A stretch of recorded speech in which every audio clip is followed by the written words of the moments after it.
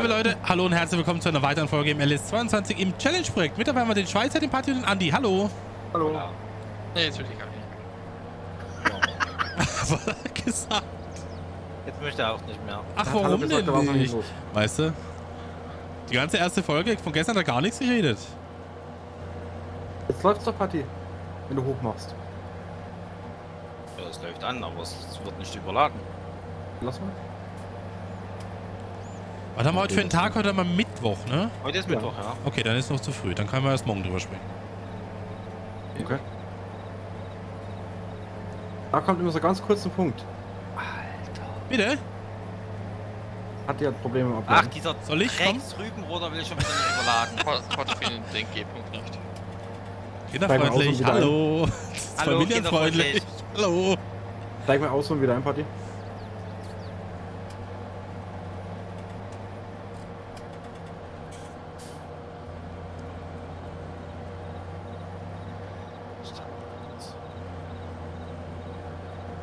So, ich habe vorher vernommen, dass wir für den Punkten her wieder ganz gut rankommen. Ja, wenn das weiter so geht, dann nicht. Oh, 0,4 Punkte trennen uns noch vom aktuellen äh, Erstplatzierten Mhm. von Hofdaki. Schauen wir mal, was wird. Deiner oben geht auch nicht. Wie ich heute in der WhatsApp-Gruppe geschrieben habe. Ja, fühle ich. Fühle ich zu 100%. Da habe ich auch eine 100 Ding zurückgegeben. Hat ja auch irgendwas. Ja, ja. Was, wie, wo? Das war Schweizer in die Gruppe geschrieben hat heute. Wo wir über das Thema, äh, was machen wir heute und wie gehen wir weiter vor und so weiter. Ach so, das ja.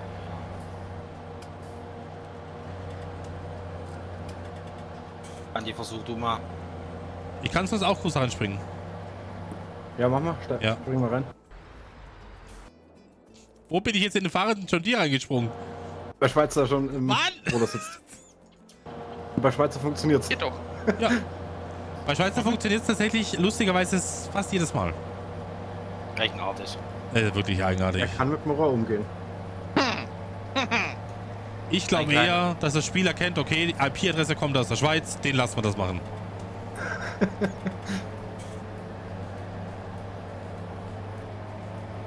Ein vernieder Schweizer.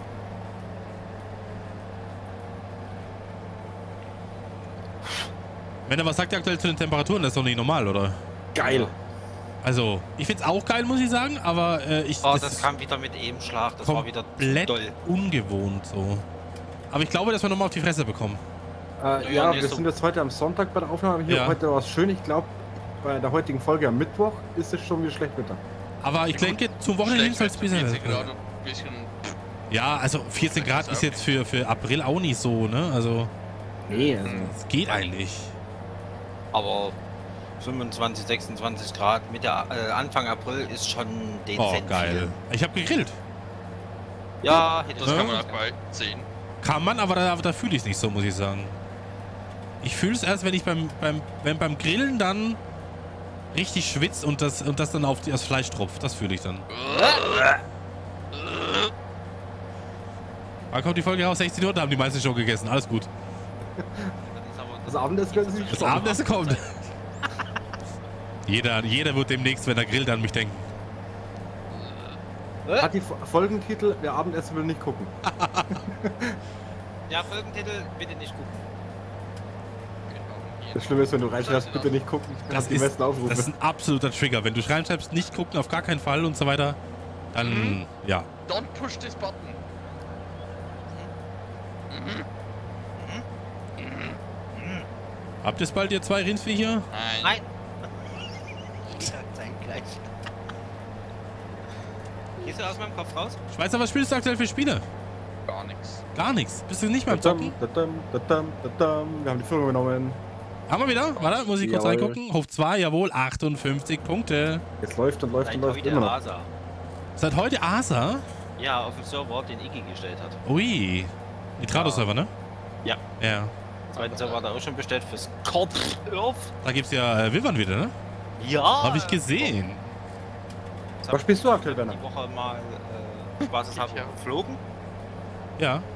Ähm, hab ich, bin ich über den Phoenix gestolpert. Oh jo. Ja, von der Blitzwürfern gegrillt worden. Es gibt auch zwei neue Tierchen auf der Map. So ein Riesending habe ich gesehen. Ja, das ist ein Planet. Und dann ein Tier, was sich im Sand vergräbt. Ui. Aber Jürgi spielt mit, der Berner Senner spielt mit der Iggy. Sehr schön. Äh, Oh. Uwe. Oh je.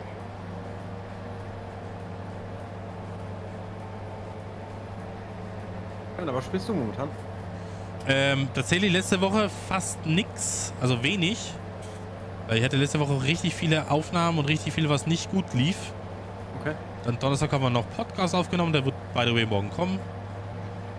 Das war auch wieder so ein zweieinhalb Stunden Ding. Ja, und dann hatte ich irgendwie komischerweise Geburtstag am Samstag, da habe ich auch nichts gemacht. Und Sonntag kam, also, ne, Family, dann habe ich auch nicht viel gemacht. Und naja, Immer diese Geburtstage und so. Jetzt Äh, kommt, ist ja noch Aufnahme. äh, es ist halt immer was zu tun, sage ich mal vorsichtig. Was gut ist, aber, äh, aber du denkst dir so, hm, könnten wir das Projekt nicht beenden vielleicht? So schnell? Nee. Ne? Ja, dann hätte ich mehr Zeit für andere Sachen, aber ist halt nicht, ne? Ich bin tatsächlich momentan wirklich jede Sekunde gespielt, GTA CS:GO. so. Ja, das glaube ich dir auch. Oh, ne? Kennst mich. Kenn dich. Wenn bei mir mal die Sucht zuschlägt, Dann an. ist vorbei. So, ich habe erfolgreich gemäht. Ich werde das wahrscheinlich alles selber gleich äh, pressen dürfen, ne? Gönn dir. Habe ich Bock drauf. Äh, haben wir jetzt eigentlich schon ein nächstes Investitionsziel? Nicht so viel, ich weiß. Wollen wir mal drüber sprechen? Ich hätte eine Idee. Ja, sag mal. Wir haben ja etwas starkes Zugfahrzeug, ein mäßiges. Etwas starkes Zug. Ja, zum Beispiel. Mhm. Kein Und, C50. na, nee, wir Nee. haben was. Wir haben ja den 500 haben PS. LKW. Erstens haben wir den, den LKW, zweitens haben wir einen Valtra. Und nach den Rüben muss man ja immer tiefen lockern. Was ein bisschen dauert. Aktuell. Ach, du Ja. Den, den großen haben. Du hast da was Breiteres. Mhm. Und was denkst du da? Ja, viel, viel bleibt da nicht. Warte, ich guck mal kurz mit. Damit ich da auch für die Zuschauer das drauf habe. Tiefenlockerer. Ja. Ui. Schweiz, Schweizi mit seinen magischen Händen, jetzt funktioniert das, als wäre nichts gewesen. Du bist so ein. Ah! Der 8 Meter? 8 Meter, ja, auf alle So Fälle. zum Beispiel. Nee, ich meine jetzt nicht Cheetor. Ähm, Ja, wir reden gerade über den Tiefenlockerer-Partie. ja, und ich rede hier vom Rübenroder. Okay, cool. Äh, ja, 8 Meter ist halt der größte, den es gibt. Und der wäre Mhm. halt absolut geldmäßig kein Problem. Also, Na, der wäre gar kein Problem tatsächlich. War, nur mal so eine Idee, was man anschauen Aber den könnte. können wir halt wirklich nur mit dem LKW machen, ne? Ja, und? Was braucht er? 435 PS. Ach, das ist die tote Valtra. Zwillingsreifen dran und ab geht er. Also Äh, tatsächlich eine normale, normale Anhängung. Aber äh, wollen wir nicht auch nochmal über einen großen Traktor reden?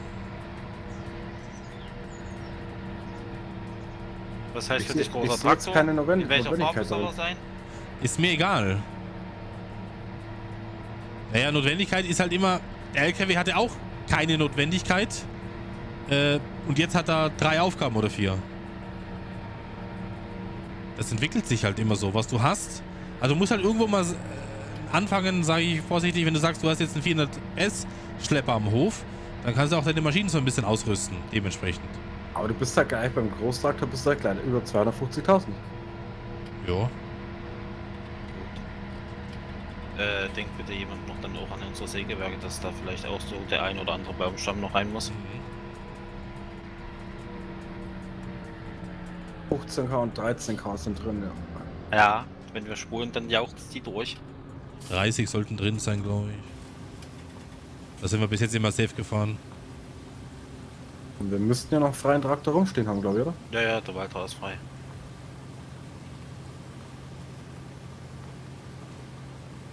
Macht ihr mal die Rüben fertig, dann können wir das ja machen. Ja, in der Zeit, wo Patti äh, auffüllt, kann ich ja schon mal die ersten umschneiden. Ja, ja.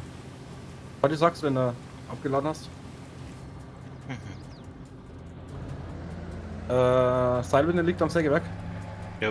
Müsste, ja.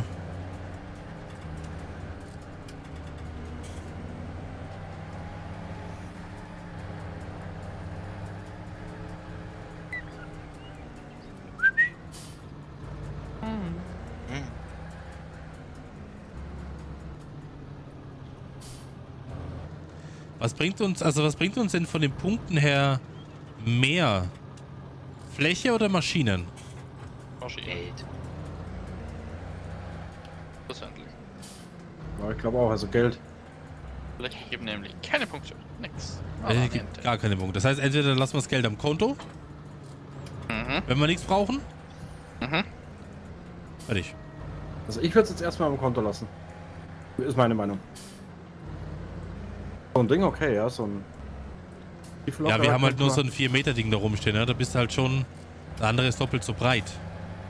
Ja, bevor jemand auf die andere Idee kommt, kann, könnte er drucken. Also. Das können sich fast, fast alle leisten, den mittlerweile. Ja, aber niemand hat ein passendes Zugfahrzeug dazu. Stimmt, ja. Erstens das und zweitens ähm, haben die das sicherlich nicht auf dem Schirm. Ich habe gesehen, Team Dennis hat ihren Walterverkauf schon in der größeren gekämpft. Haben die das, ja? Oh, das habe ich gar nicht mitbekommen. Ich habe eben, mein letzter Wissensstand war eben der alte Xerion. Das ist ja Also- den, letzt, letztes Mal den Xeon getauscht und eben den kleinen Water weg und dafür den So, so ein neuer Xerion wäre eigentlich auch geil, oder nicht? Er ist halt nicht wendig, ne? Ey, ist- was? Warum nicht?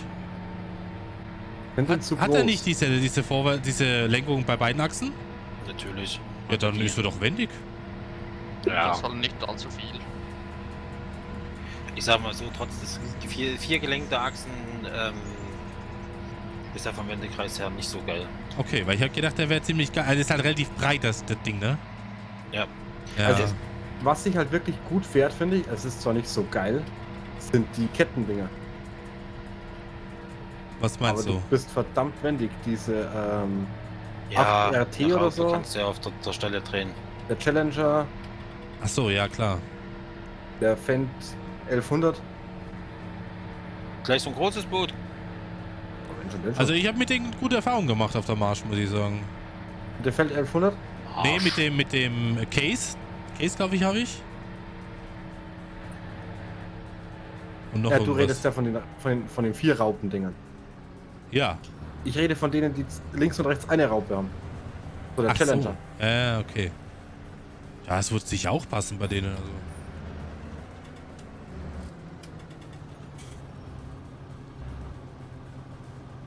Ich meine, die sind halt nicht so schnell, ne? 40. Oh, Aber why not? Warte mal, was kostet denn so ein Schinken? Hm, zu viel. 200, glaube ich. Gehört da der, der 8RT auch dazu? Den habe ich sogar. Den habe ich tatsächlich. Mhm. Andi, Jo, Boah, die kosten schraub unsere Punkte nach oben. 400, Ja, Alter. Gut, der, der Vario 385. Naja. Ja, wir können ja erstmal den Sparfuchs machen. Also ich bin bei dem 8 Meter Tiefenlogger, bin ich, würde ich sagen, ja. Wollen wir dann den kleineren verkaufen oder wollt ihr den behalten, damit die anderen den nicht bekommen? können wir halten. Ich bin so der. Ja, deswegen fragen wir. Deswegen Gönn hier. nicht. Andi ist kein Gönner und Digi fährt erstmal in, den Bach rein. Ich bin halt immer noch so, wenn wir das Geld nicht notwendig brauchen, lass die Maschine da. Mhm.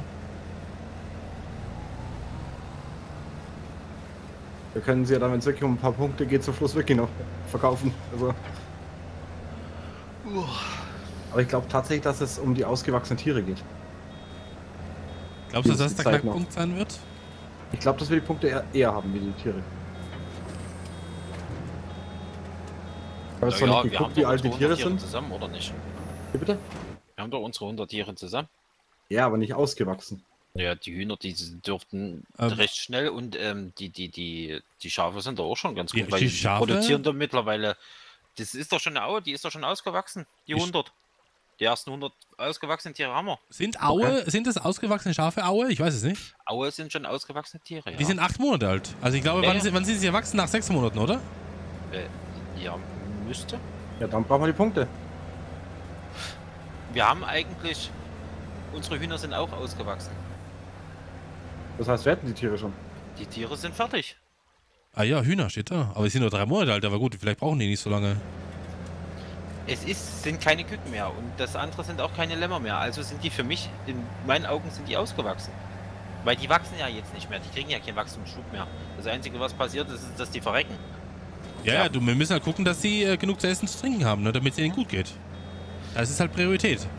Das heißt, wir brauchen nur mehr, nur mehr natürlich, jetzt in Anführungszeichen, die 100 Punkte, dann haben wir den Sack. Ja.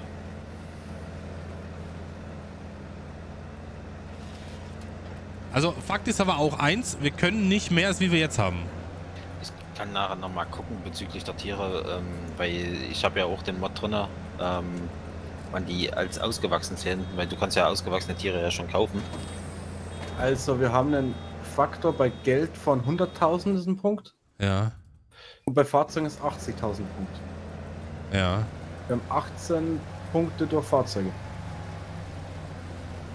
Das heißt, wo haben wir denn? also Wir haben nur 18 Punkte durch Fahrzeuge. Ja. Ja, ja. Wo haben wir denn das? Achso, Lagerbestände, ja klar. Ja, ja. Lagerstände. Das ist der Rest. Und Fahrzeuge gehen eigentlich auch runter mit dem Wert. Ja, das ist halt so. Je mehr du sie benutzt und so weiter, jeden Tag.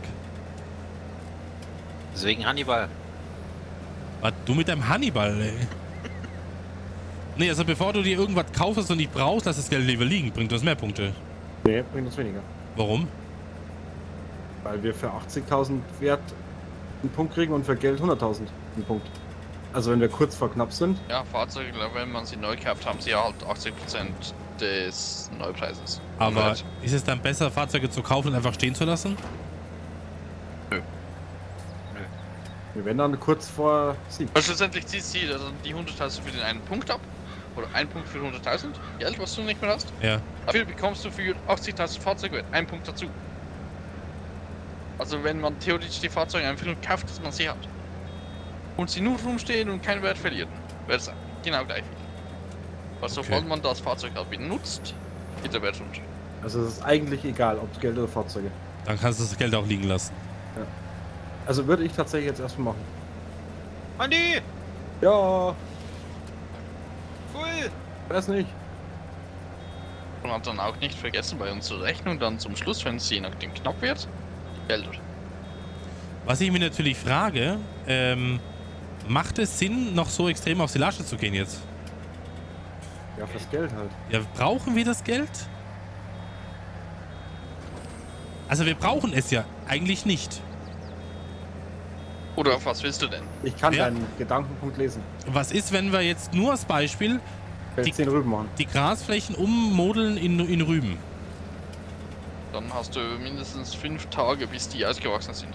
Okay, Und schau mal, wie viele Punkte wir jetzt durchschrieben haben. ja. Und in jedem Feld einmal ernten, was aktuell mit Rüben wieder angesät ist, sozusagen. Wir haben jetzt 40 Punkte mit Rüben. 40! Und die mal. waren nicht, nicht gekalkt, ni- nicht optimal gedüngt. Warte mal, du willst mir jetzt sagen, wenn wir jetzt alle Felder mit Rüben nochmal abernten, haben wir nochmal 40 Punkte. Ja, aber dann, ne, dann kommt dann noch mehr runter, weil äh, jetzt sind sie ja äh, alle voll gedüngt und gekalkt und haben alle Liebe gekriegt. Und, und, und, und so Precision Farming gedöns. Ja, ich verstehe. Das heißt, jetzt kommen mehr runter, weil wir uns besser drum gekümmert haben. Ja. Äh, aber wir werden dann, wenn wir jetzt noch, wie lange wird das dauern? Zwei Wochen? Das ist halt erstmal Die ersten beiden sind in zwei Wochen wieder soweit. Ja. Also in zwei, nach zweimal spulen. Oder wir nehmen die Kohle, die wir haben, kaufen damit neue Felder, wo Zuckerrüben drauf sind.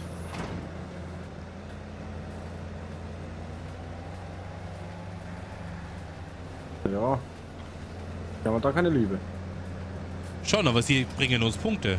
Das Aber wenn es dann, wenn es dann hinten raus knapp wird, arschknapp wird, dann bist du besser dran, wenn du fünf oder zehn Punkte übrig hast von dem Feld, das vielleicht nicht die perfekten Werte hat, aber wo wir auf alle Fälle ein paar Tonnen Rüben runterbekommen. Ja. Meiner Meinung nach. Ich Bevor- verstehe, wie du meinst. Ja. Bevor man das Geld da oben liegen lässt. Weil dann ist auch egal, dann vergiss, ver- lass die scheiß Silage-Mission weg jetzt, weißt du, was ich meine? Die Missionen. Ja, Ja. dann machen wir einfach unsere Dinger und wenn wir sehen, wir haben Potenzial, dass wir noch was kaufen können und wir haben die Kohle, äh, dann lass noch ein Rübenfeld kaufen. Geht, es geht ja nicht darum praktisch, äh, ja, es geht ein bisschen darum, den Sieg aus der Hand zu geben, es geht aber auch darum, einfach früher mit Sachen fertig zu werden, die vorausschaubar sind. Ja. Das wäre nur die Idee. Liebe Leute, schreibt gerne mal euer Feedback in die Kommentare dazu. Würde mich interessieren, wie ihr das machen würdet. Äh, wir sind erstmal fertig für heute. Herzlichen Dank fürs Zuschauen, fürs dabei sein und bis morgen. Macht's gut. Tschüssi. Tschüss. Tschüss.